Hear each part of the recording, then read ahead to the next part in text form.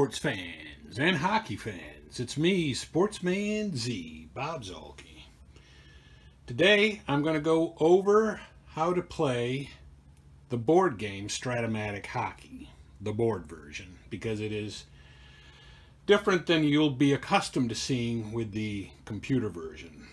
Um, in, in some ways. Well, really, in the biggest way, it's that there's not as many line changes in the board version. So anyway, um, let's go over what you should have to play a Strat-O-Matic hockey card and dice game. Uh, the first thing you want to make sure you have is a split deck. So there's that right there. And this is the split, this is uh, yeah, this is the split deck that'll tell you, you know, what different things are going to happen at different, here, yeah, there we go, at different times while you play the game. And, uh, and it, it, it acts as the, uh, also when you need to get a split, um, a split roll or a split decision, it will act like the 20-sided dice does in the baseball or the um, you know the split deck in the baseball game. However if you want to use a 20-sided dice you can use that. Um, in instances where you don't need uh, something like you know um, for instance a uh, you know you don't need to know what happens on a breakaway or you don't need to know what happens on a rebound or something like that but um, if you just need the result like you would on a face-off, you could use the split deck. Then you have a an action deck. And this uh, basically tells what happens, you know, in the act here. Here we go, upside down. Um, this will tell you which to refer to home or visitor and the results for the home and visitor and what happens. You will also put in this deck um, throughout at various times. There will be a forward line change card. There's one defensive line change card and two forward line change cards. So you will um, pick, you know, as you go through the deck, you will come up with one of those and they will yield a, um, you know, uh, it's kind of like a you know a reminder to change your offensive lines or change your defensive lines. Now with with the action deck, there are 30 of these cards. So uh, I think the instructions say to put the first forward line change 10 cards in, put the defensive line change five cards later, and then put the next um, forward line change. I think it says uh, five cards after that. Really, I don't think it really matters as long as you do them at certain intervals. Like sometimes I put it eight card. I put the first forward line change eight cards in, and then the next, and then the defensive line change six cards after that, and then maybe the next offensive line change 10 cards after that. It It's not really a big deal as long as they're spread out and they're done at uh, you know certain intervals. Now this is also the timing device in the basic game, and by the way, this is the uh, what we're what we're going over today is the basic game instructions because I don't um, I haven't learned how to play the advanced or super advanced.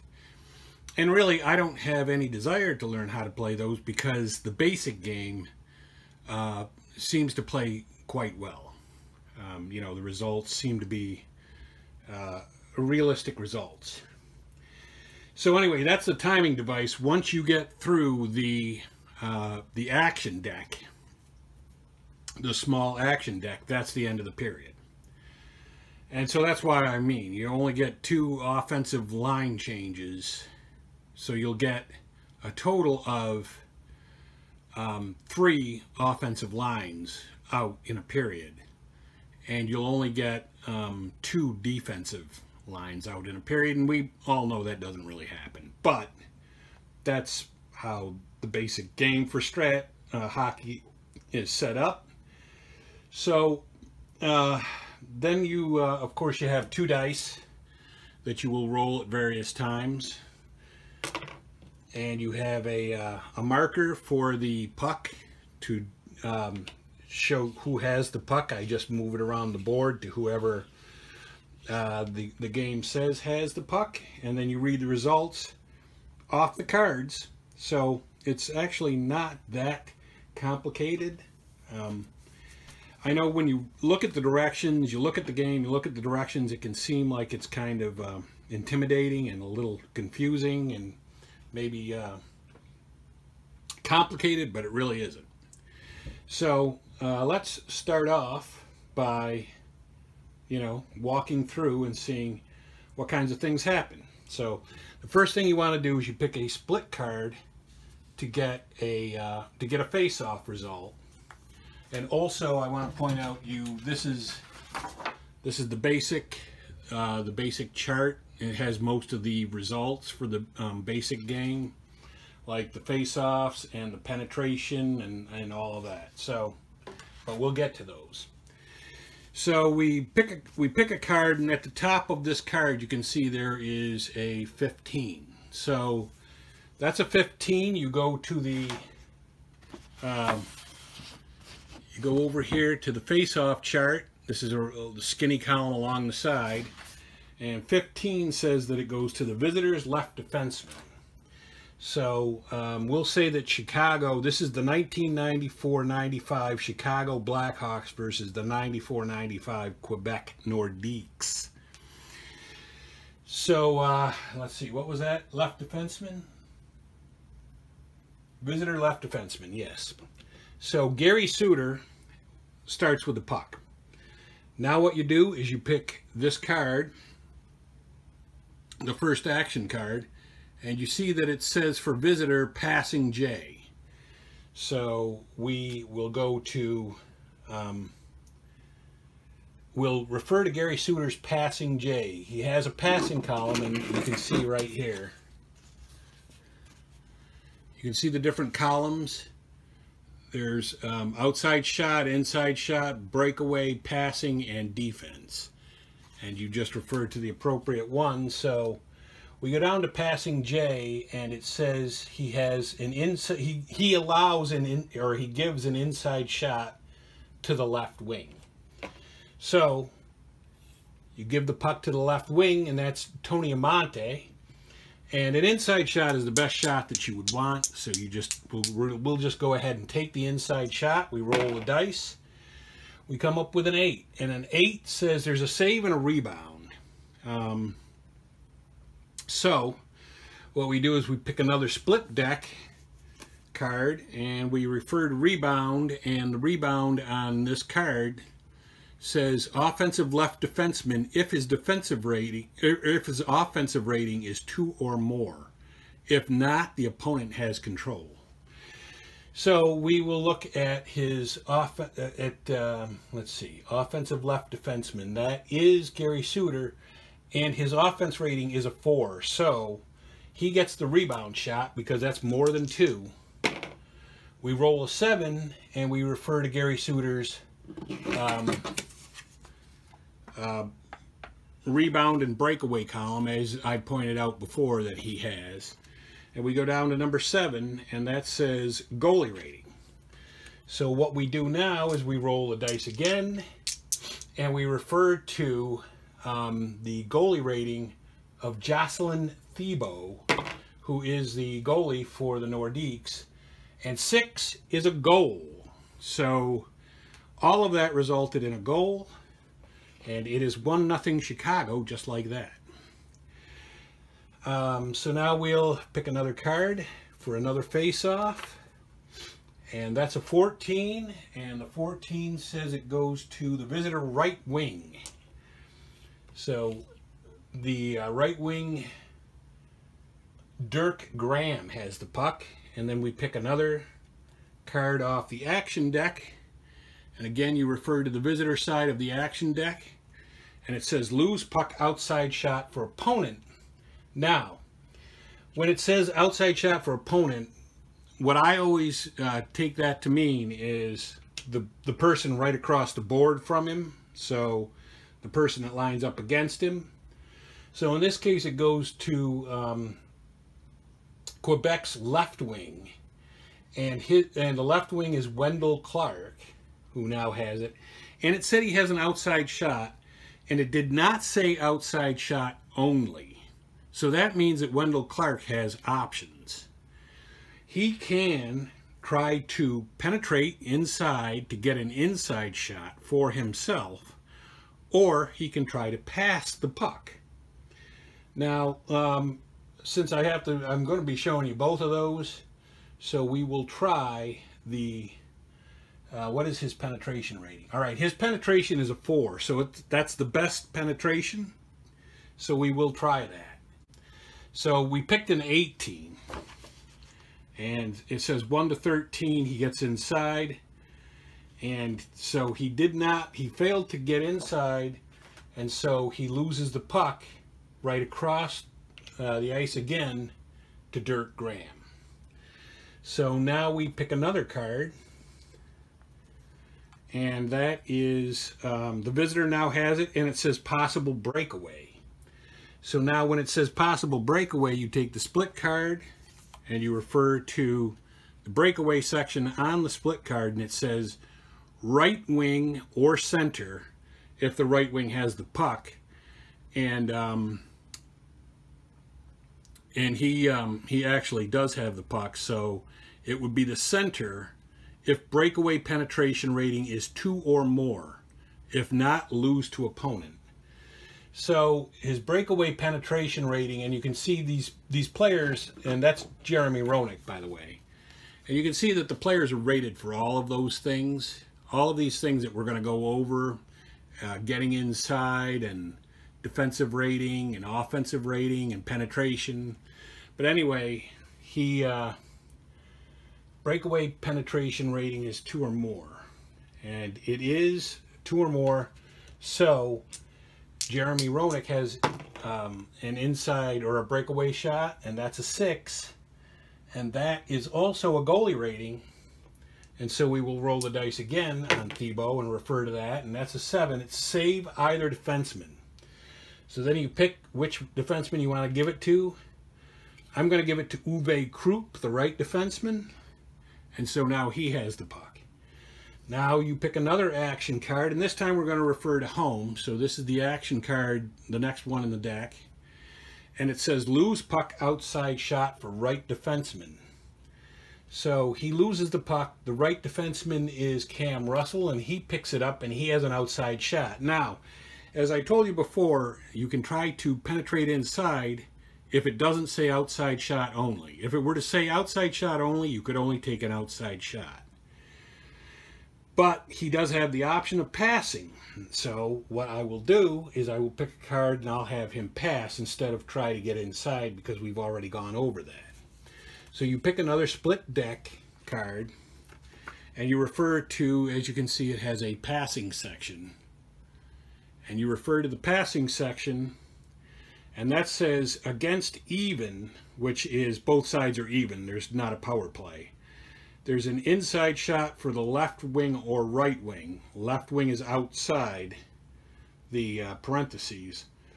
So um, that would be the first choice if the left wing wasn't the one with the puck and he isn't against and so um, what that is, it's an inside shot for the left wing because then it just goes on. It says if it's um, if there if you're short-handed or if you are um,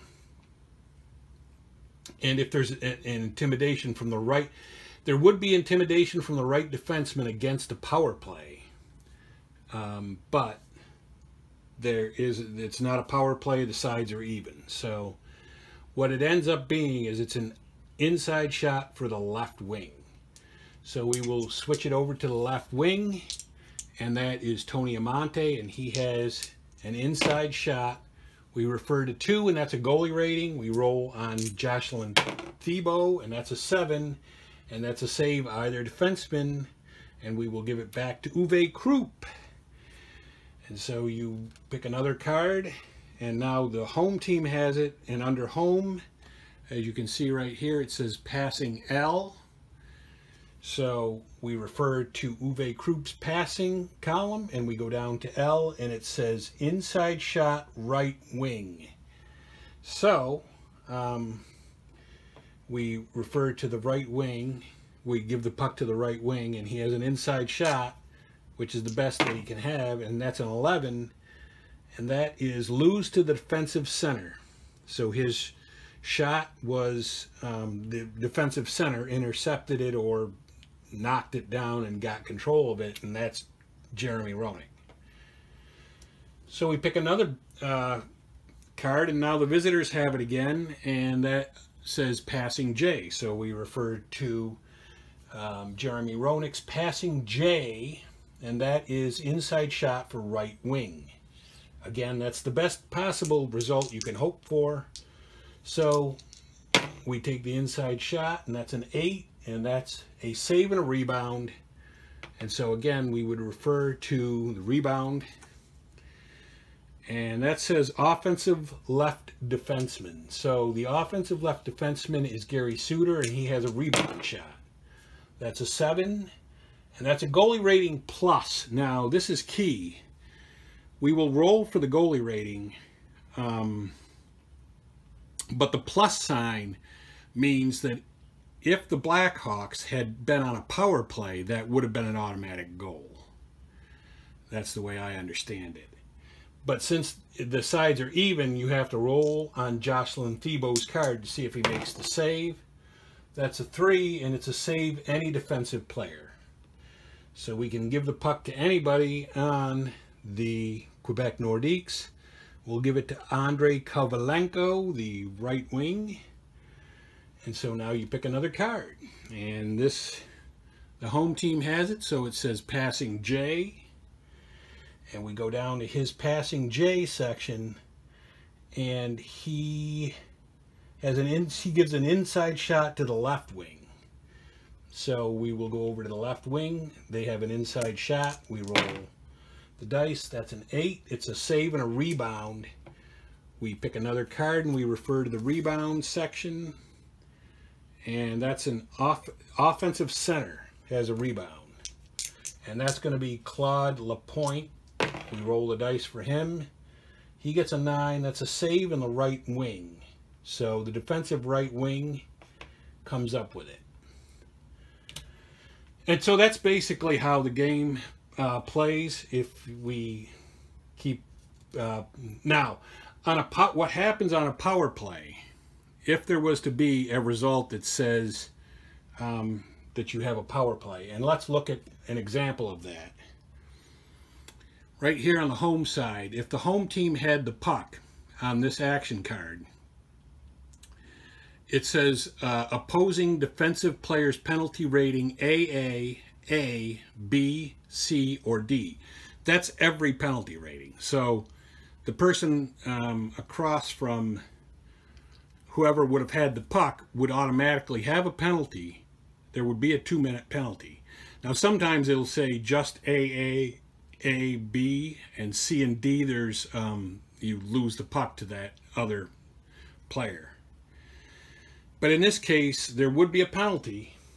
When there is a penalty, you automatically just pick two cards. Now, see, there's the forward line change. You would probably do that afterwards. But anyway, other than the forward line change, you would pick two cards to let the time go by, to signify the time going by. And then you would refer to the, um, you would refer to the penalty chart. So what you do is you pick another, you pick another split deck card, or you refer to the power play chart, and that's a 17. So the chart that I'm referring to here is this one right here. It's got all kinds of results, 1 to 17.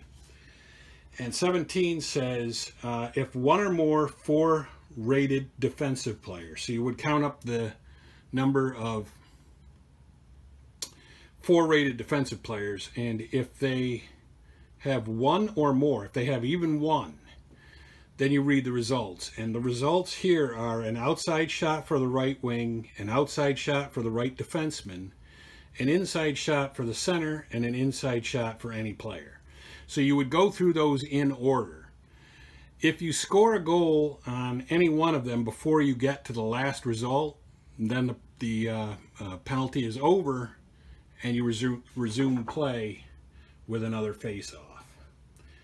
Um, however, um, if you go through all of those and you don't get um, that result, if you don't get um, a goal, then um, after the inside shot for any player, you would go off of whatever his inside shot said, and you would continue play from that point on, only at, you know, at, at even strength.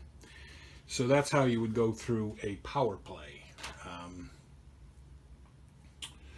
so that's basically, I mean, that's that's the that's basically the basic game of Strat-O-Matic hockey and how it is played. It is pretty self-explanatory. You've got all the columns, you've got the um, ratings and the tendencies and all of that. But I wanted to go through this and show everybody um, how, I, at least how my understanding of how the game is played. If the, there's veterans out there that have played, you know, hundreds of uh, uh, Strat-O-Matic hockey board games, and you know, I misled somebody or told somebody the wrong thing, then um, you can, uh, you know, let me know in the comments. Also, I want to point out there is also at the uh, bottom of these cards um, at the bottom of the cards there is, if you're score for scoring purposes, it'll say assists. And um, you can go through a progression of, um, you know, what, who you you think the assist should go to. Um,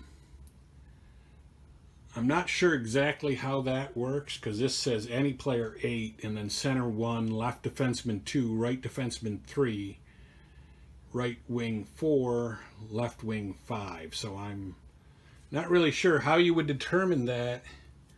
Let's see what one of the other ones says. Yeah, the other, it says about the same thing. So, but that's just for scoring purposes. I mean, the important thing is who got the goal, and you're going to know that. Um, so, um, and and also if somebody passes, like if it said, you know, uh, for instance, Gary Suter had the puck, and then it says inside shot for center, and that's Roenick, then you know that it, one of the assists is definitely Gary Suter. That is, at the bottom of the card is just for referring to like, uh, you know, a secondary um, assist. I don't know what you do. Maybe you, maybe you pick another split deck number. For instance, this says any player eight, center two, right defenseman three, right wing five, goalie two, and left defenseman four. So you pick another card. If none of those comes up, then nobody got the secondary assist. This is a six, and six is um, six is not here. So nobody would have gotten the secondary assist. Um, or if it, you know, um, the first assist or the only assist, if you didn't know how the player got the puck. Like if he just stole the puck and then he scored, and you don't know that there was any other player involved anyway, then there, and you pick the next split deck and one of those numbers doesn't come up, then nobody got the assist. It was just the guy stealing the puck and scoring. So that's my understanding of the game. It is not a very complicated, like I said, it's not a very complicated game to play once you get into it um, and you start playing. And, uh, you know, I really enjoy it. I wasn't sure that I was going to. It's been 35 years since I played this but I really do enjoy it. It's great. Um, and uh, I will be putting this up both on my regular channel and on my hockey channel. Many of you may know that I also have a hockey channel in it in um, addition to the regular main Sportsman Z channel. Putting it up on both because um, it'll get more exposure on the main channel and it is Strat-O-Matic, which I do have on my main channel. But also I'll put it up on the hockey channel. I just started that channel though. It doesn't have a lot of subscribers. Not a lot of people know about it. So to get it maximum exposure, I'm going to have it on both channels.